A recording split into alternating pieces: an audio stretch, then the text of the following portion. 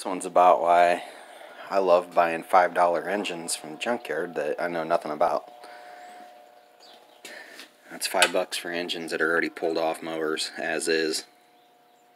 Um, this one here I got for five bucks. Uh, I got the fuel tank and carburetor. I think that's it, or it might be one already cleaned up.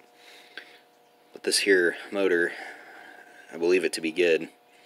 So it'll end up going on deck. Like I got this one for five, and I got this one for five.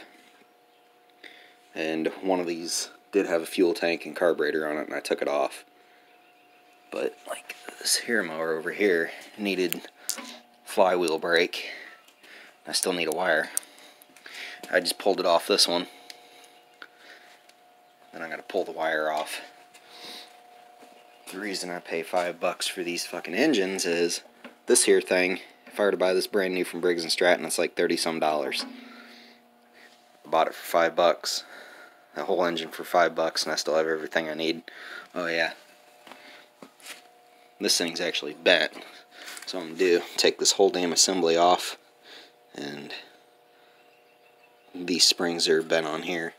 What I'll do is I'll take this linkage and these springs from this engine to put on here.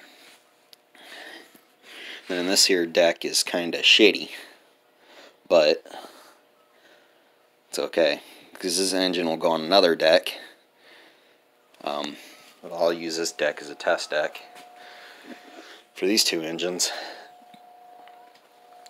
and then other engines.